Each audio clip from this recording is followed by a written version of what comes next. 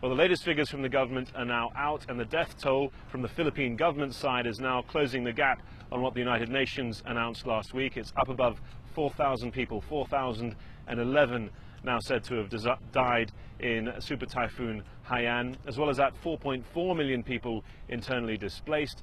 1,602 officially listed as missing. And for the relatives of those people, uh, without confirmation that their loved ones have died, without having any idea where they might be, if by some miracle they're still alive, it's becoming an increasingly depressing and difficult experience. We caught up with one family who are really trying very hard to find a missing three-year-old boy and not really knowing where to turn.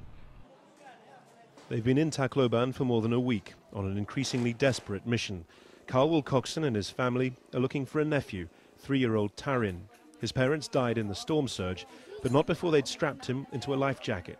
Karl believes he may have been rescued, but his efforts to find out for sure have been thwarted in the confusion after the disaster.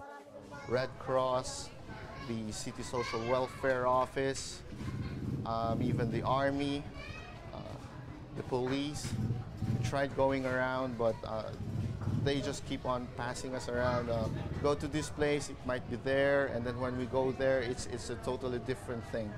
This is where the missing and the dead are reported to Tacloban's local government. Except today, it's also where government employees are registering their attendance for work. Jovileih Viñas is trying to discover what happened to her mother's relatives in a nearby province. I haven't found their names yet, so I, I don't know, I don't know where to search for. The staff here admit that there's no central system in place to match up the missing with the families seeking them. Right now we don't have. Maybe some other day. The Tacloban city government told us that anybody looking for a missing relative would be better served by trying with the Department for Social Welfare Development, the national agency. Their office in town have sent us here to their main aid distribution point where they say there is a comprehensive list of the missing and the dead that can be cross-referenced. But with the pressing need to get aid to the storm survivors, we find that no such list exists. Another priority continues to be recovery and disposal of bodies. The sex, height, clothing and approximate age are noted before they're taken away. Families will have to grieve for loved ones who've simply disappeared. Karl Wilcockson, meanwhile, has had a lead. Someone rang to say that they had the boy, only to go on to demand money. Another blind alley, but Karl hasn't given up. When he stumbles, he never cries. He just picks himself up and then keeps on running again. So with, with these memories in my mind right now, I really do hope that we can, we can still find him. And so the poster campaign goes on, one family in the midst of a national calamity, hoping to find for themselves the answers they need.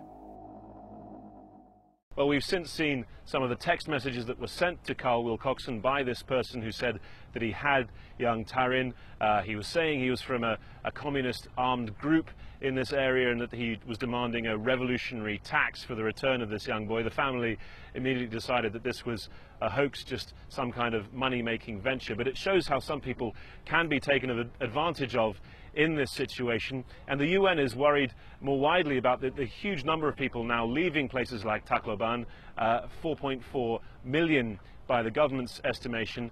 And they've set up, the UN, a, uh, a task force inside the, the airport here in Tacloban uh, to try and trace people, to make sure that they give their details and that all of these people on the move uh, have some way of being traced in the future because they're worried about some of them falling into the hands of human traffickers.